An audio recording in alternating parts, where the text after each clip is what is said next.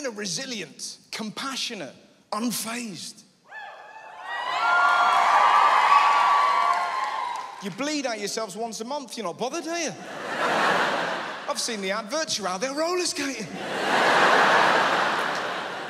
My dad has a sit down after a sandwich.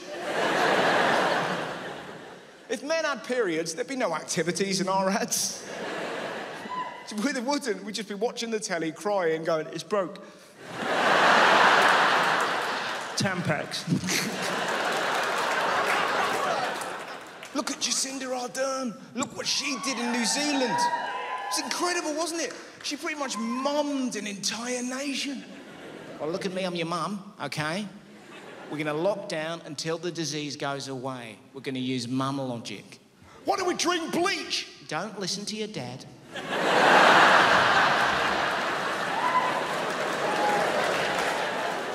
It's what mums do, innit? Mums are wildly overprotective. That's what they do. Remember when you were young and your mum would warn you about things you wouldn't even consider? You're minding your own business, your mum just appears. Don't run with scissors. Cheers, mum. I wasn't planning on it. Don't put a knife in a plug socket. Again. Not on my to do list. This was the weirdest. Do you remember when we were eight and your mum's like, don't put two pencils up your nose and smash your head on a desk?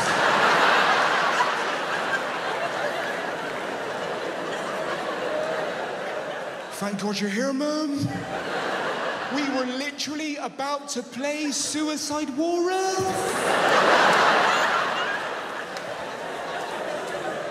It might be different in your family.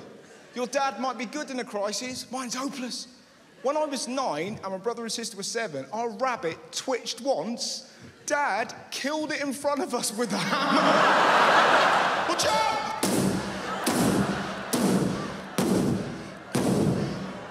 I don't like watching them suffer, kids.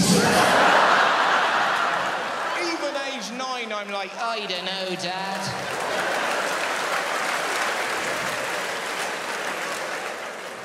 Probably a better way of dealing with myxomatosis than that. Maybe clear the perimeter first before you pancake Flopsy, you fucking maniac. I will never forget it. My sister's crying, my brother's laughing. My mum's like, come on, your dad's having one of his moments. Here we go. Don't pull a face, Russell. The wind will change and you'll stay. now, I'm going to do a joke that you're not going to like. You say that, madam. But buckle up. I bet you money it was a dad that let those kids go around Michael Jackson's.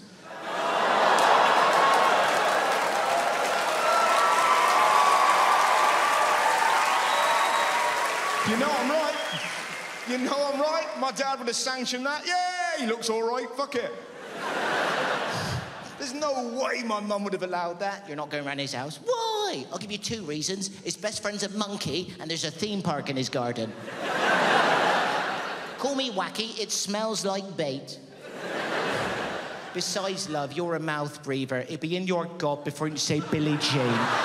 Come along. What I'm trying to say, it didn't surprise me that female leaders excelled. Do you know what I find baffling?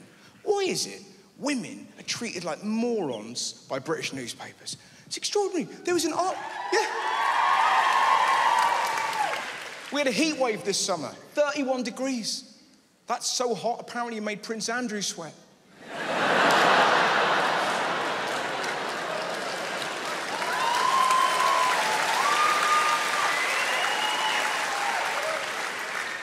And there was an article offering women advice. Was it to use suntan lotion? Was it to wear a cap? Nope.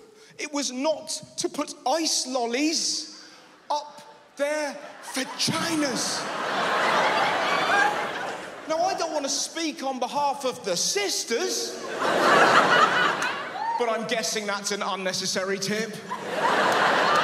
I've seen my grandmother in a heat wave, not once. Get all your Calippo, Russ. I'm burning up here. I've never seen my mom chasing an ice cream van, fanny first. Just one cornetto.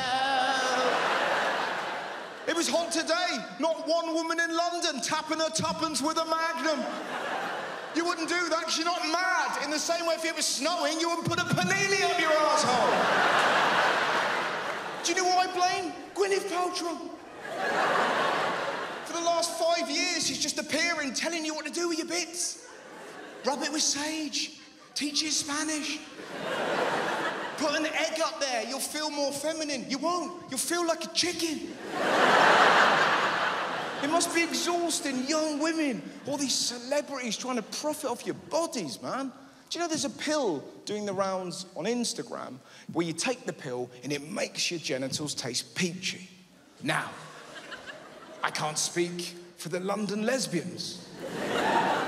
But I will speak for every single man here tonight. Not once have we been lucky enough to be in that holy vicinity and gone, whoa. I hope it's peachy.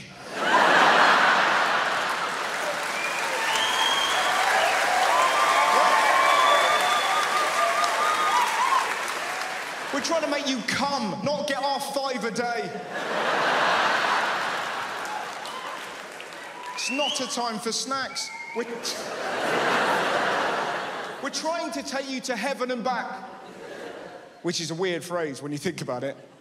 It would be awful, wouldn't it? Like, oh, oh, granddad, and back again. You're like, oh.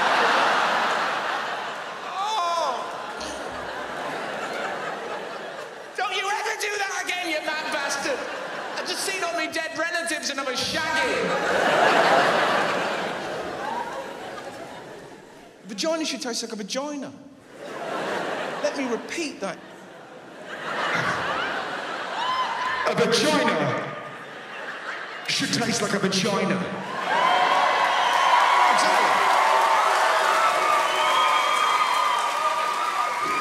And don't let celebrities make you feel otherwise. Listen, I'm not going to say it's not an acquired taste. Let's not muck around. That first licky woo, it's bracing. Shimmy, have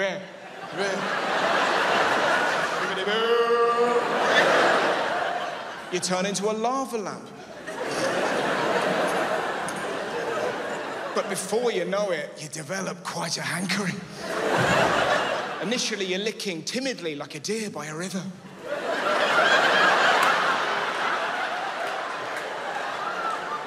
Before you know it, you're like a mummy cow with a newborn calf. the point I'm making taste buds evolve. You know what it's like? Nobody likes an olive when they're a kid. this grape is bad. Before you know it, more grapes, mum, more grapes.